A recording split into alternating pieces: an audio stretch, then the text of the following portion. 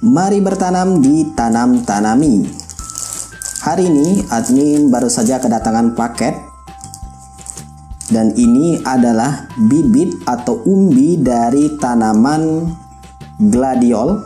Dan di sini admin pesen 6 warna 6 paket dan dikasih satu bonus. Lebih tepatnya dua bonus.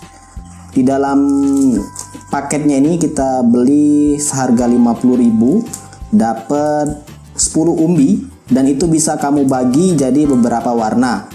Nah, berhubung beli 10 umbi, beli paketan, jadi kita dikasih bonus. Nah, ini dia bonusnya warna ungu. Jadi sebenarnya yang beli itu warna ini ada lima warna, ada pink, ada merah, oranye, ada warna putih, dan ini dia kuning. Kemudian bonusnya admin minta warna ungu dan ternyata sellernya baik dikasih lagi bonus warna merah yang sudah bertunas. Sekilas mirip banget umbi dari tanaman gladiol ini dengan donat. Donat yang kering yang mungkin sudah lama di dalam kulkas sudah mengkerut dan mungkin juga mirip dengan bawang bombay. Untuk warna yang ini warna putih ini dan warna kuning ini mirip bawang bombay. Sedangkan yang ini mirip banget dengan donat. Jadi siang-siang gini lihat umbi dari gladiol jadi lapar. Nah mencoba dekatkan lagi. Ini dia bentuk dari umbi gladiol.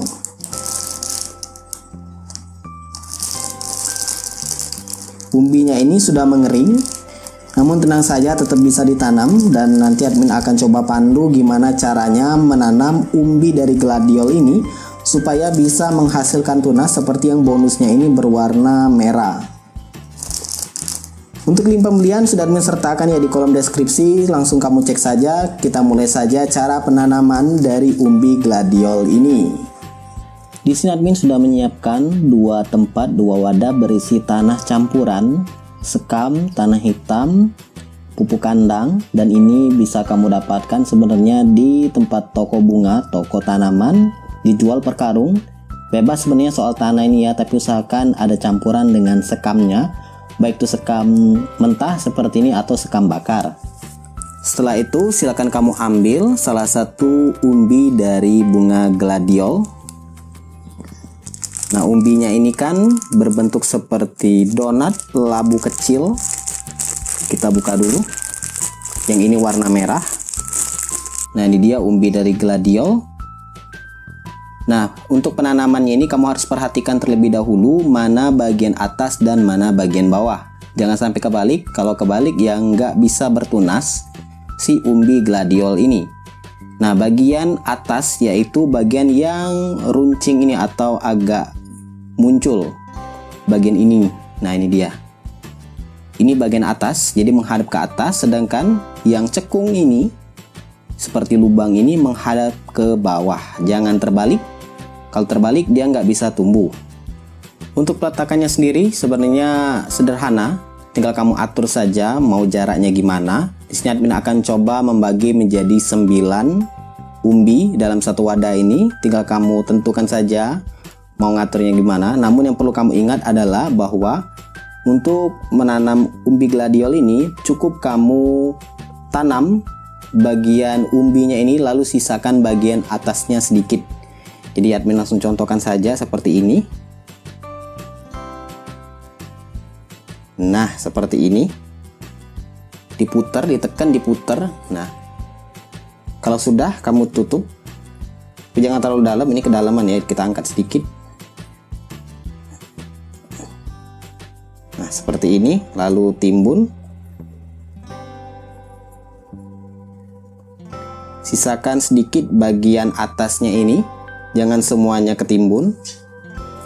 Dan kamu lakukan sampai semua umbi gladiol ini ditanam. Jadi admin coba akan tanam dulu satu persatu. Ini warna merah. Oke ternyata niatnya mau nanam dalam satu wadah ini 9 umbi jadinya cuma bisa 6 ternyata umbinya gede ya memakan space. Jadi kalau sudah seperti ini sudah ditanam sedemikian rupa tinggal kamu siram ingat nyiramnya ini satu hari sekali aja ya jangan lebih karena umbinya nggak boleh terkena air terlalu banyak nanti busuk Jadi pastikan airnya itu secukupnya saja. Dan satu hari cuman satu kali.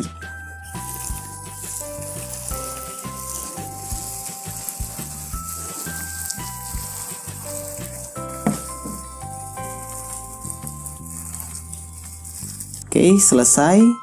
Kalau sudah disiram, silakan kamu taruh di tempat yang tidak terkena sinar matahari secara langsung seperti ini.